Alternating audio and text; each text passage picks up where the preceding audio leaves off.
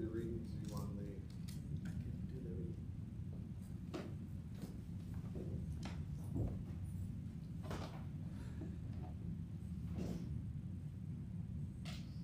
If we say we have no sin, we deceive ourselves and the truth is not in us.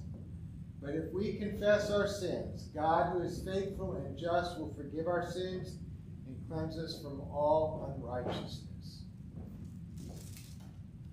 Dearly beloved, we have come together in the presence of Almighty God, our Heavenly Father, to set forth His praise, to hear His holy word, and to ask for ourselves and on behalf of others those things that are necessary for our life and our salvation so that we may prepare ourselves in heart and mind to worship him, let us kneel in silence and with penitent and obedient hearts confess our sins, we may obtain forgiveness by his infinite goodness and mercy.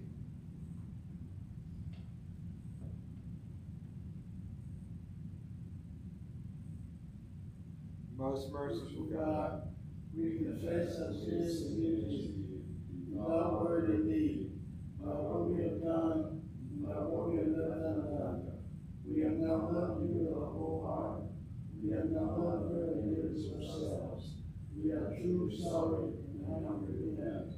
For the sake of your Son, Jesus Christ, have mercy on us and forgive us, that we may delight in your will and walk in your ways, for the glory of your name. Amen.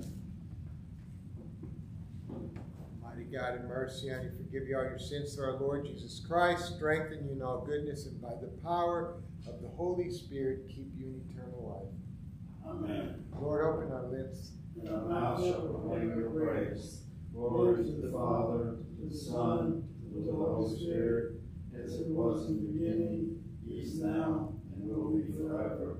Amen. The Lord is full of compassion and mercy. Come, let us adore him. Be joyful in the Lord, all you lands.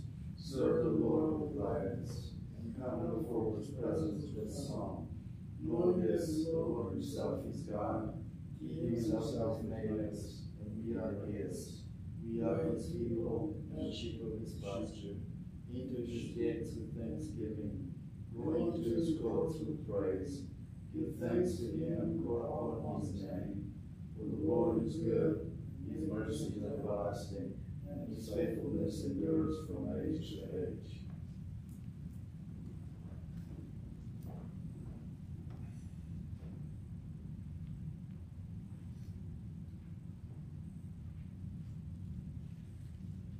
Psalm 97 The Lord is King. Let the earth rejoice. Let the multitude of the isles be glad cloud and darkness are round about him. Righteousness and justice are the foundations of his throne. The fire goes before him, burns up his enemies on every side. His lightnings light up the world, the earth sees it and is afraid. Mountains melt like wax at the presence of the Lord, at the presence of the Lord of the whole earth. The heavens declare his righteousness, and all the people see his glory. Confounded be all who worship carved images and delight in false gods. Bow down before him, all you gods. Zion hears with his land, and the citizens rejoice. Because of your judgments, O Lord, you are the Lord, most high over all the earth. You are exalted far above all gods. The Lord loves those who hate evil. He preserves the lives of the saints and delivers them from the hand of the wicked. Light has sprung up for the righteous, and joyful gladness for those who are true-hearted. Rejoice in the Lord, be righteous, and give thanks to his holy name. Psalm 99 The Lord is King, let the people tremble. He is enthroned upon cherubim, let the earth shake. The Lord is great in Zion he is high above all peoples. Let them confess his name, which is great and awesome. He is the Holy One. Almighty King, lover of justice, you have established equity. You have executed justice and righteousness in Jacob. Proclaim the greatness of the Lord our God, fall down before his footstool. He is the Holy One. Moses and Aaron among his priests, and Samuel among those who call upon his name. They called upon the Lord and he answered them. He spoke to them out of the pillar of fire. They kept his testimonies and the decrees that he gave them. O Lord our God, you answered them indeed. You were a God who forgave them, yet punished them for their evil deeds. Proclaim the greatness of the Lord our God, and worship him upon this holy hill. For the Lord our God is a holy one. Glory to the Father, to the Son, to the Holy Spirit, as it was in the beginning, is now, and will be forever. Amen.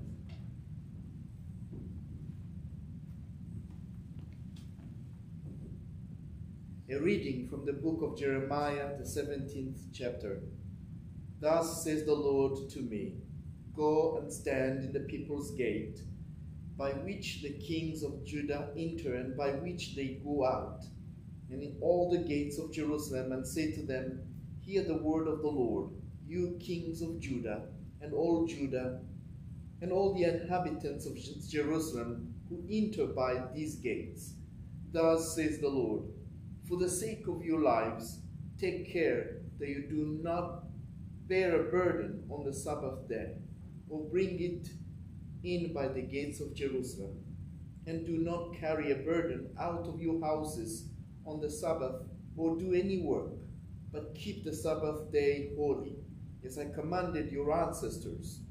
Yet they did not listen or incline their ear. They stiffened their necks and would not hear or receive instruction.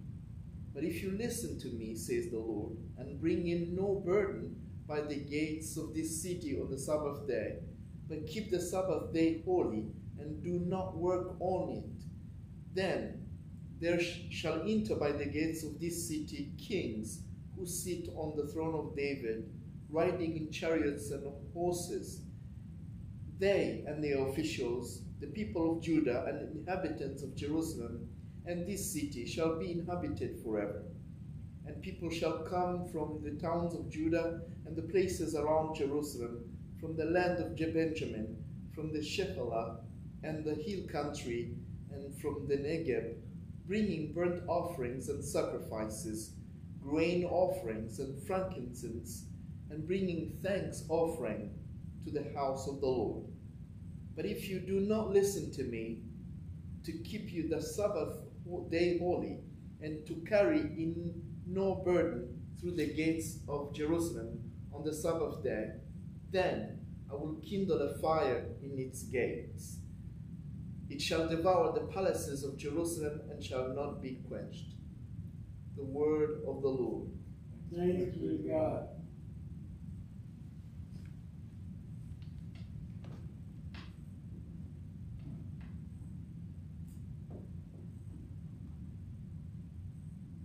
Canticle 13. Glory to you, Lord God of our fathers. You are worthy of praise. Glory to you. Glory to you for the radiance of your holy name. We will praise you and highly exalt you forever. Glory to you in the splendor of your temple. On the throne of your majesty, glory to you. Glory to you seated between the cherubim. We will praise you and highly exalt you forever. Glory to you we open the depths, in the high vault of heaven, glory to you. Glory to you, Father, Son, and Holy Spirit. We will praise you and highly exalt you forever.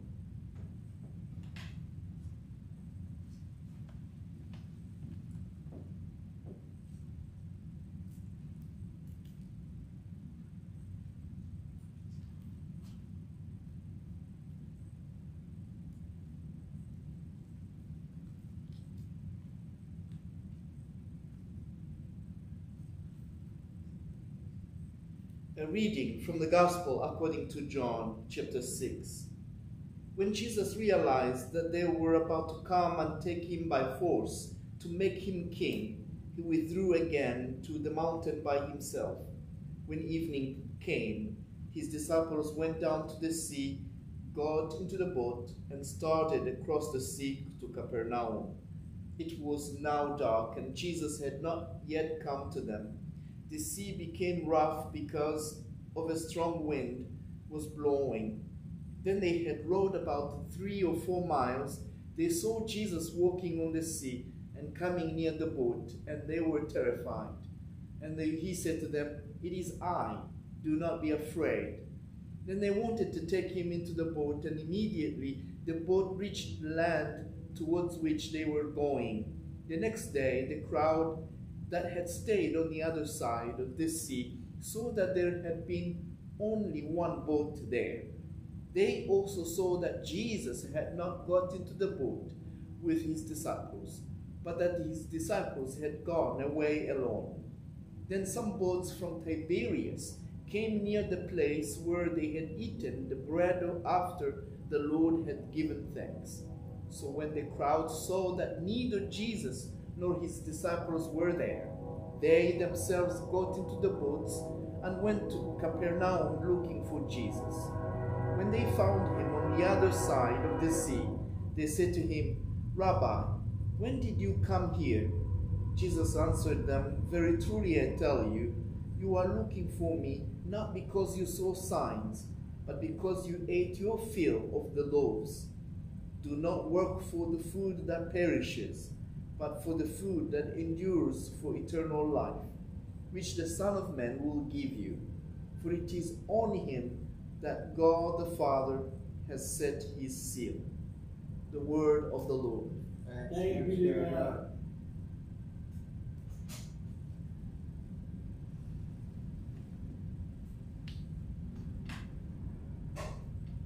Eighteen, splendor and honor, and kingdom power are yours by right, O Lord, O God.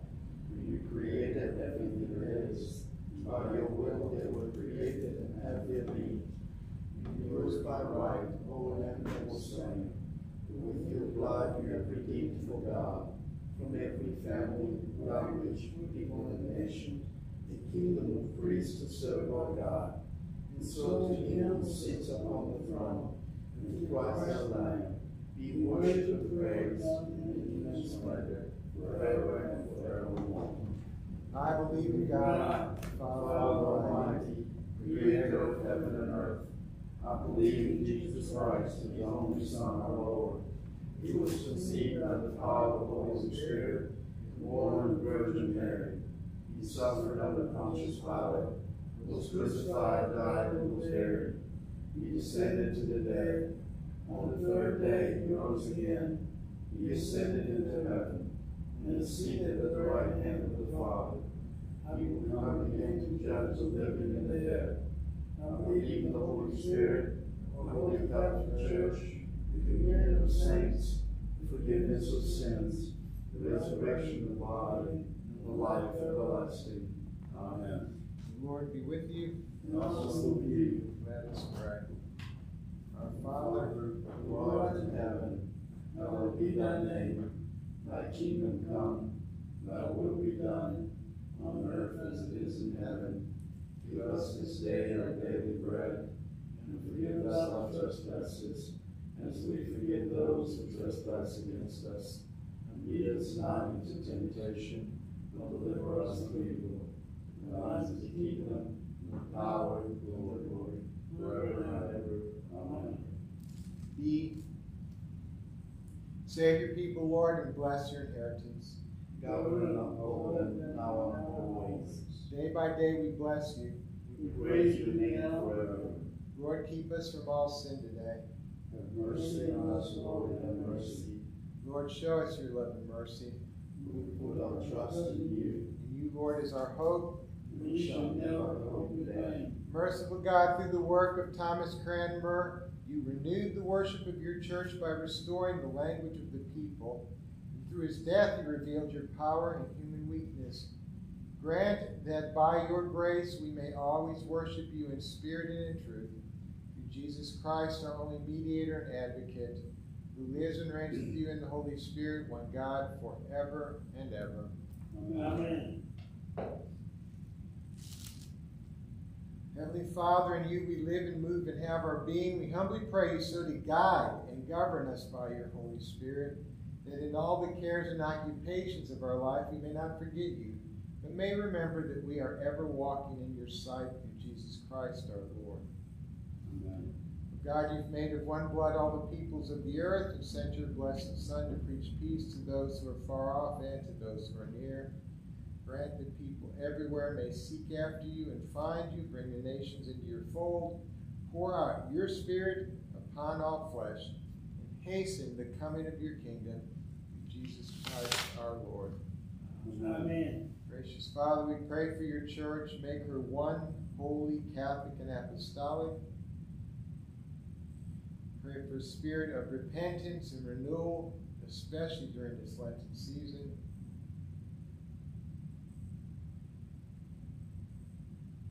Guard and guide the Anglican Communion in all truth.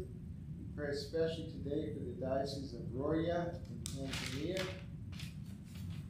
the Diocese of West Tennessee, our Bishop Phoebe, Canon Sharon, for Emmanuel Church, oh, Emmanuel Church in Ripley, for vocations to holy orders and seminarians, especially for those in our diocese. For St. Andrews to grow in faith, hope, and love, consecrate us in prayer, in work, and in study. Let the kingdom just emerge among us. Grant that this parish be focused on glorifying you. For those who are sick and suffering, for the poor and needy, especially those who come to our door, for those whom we are in fellowship with in outreach, and those who may serve, our sick and suffering, for the healing light of Christ to fill us, and for your needs and concerns.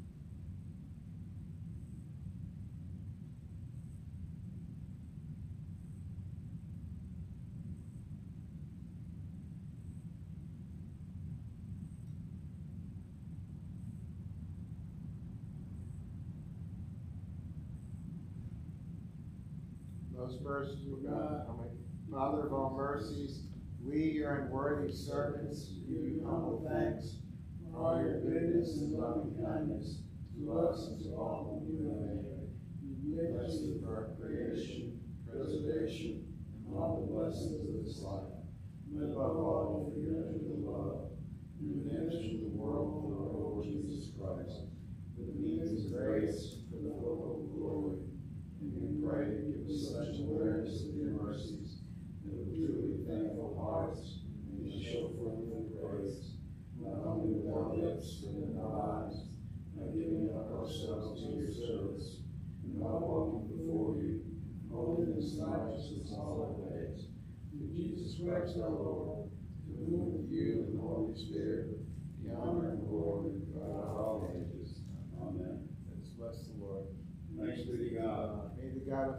us with all joy and peace in believing through the power of the Holy Spirit. Amen.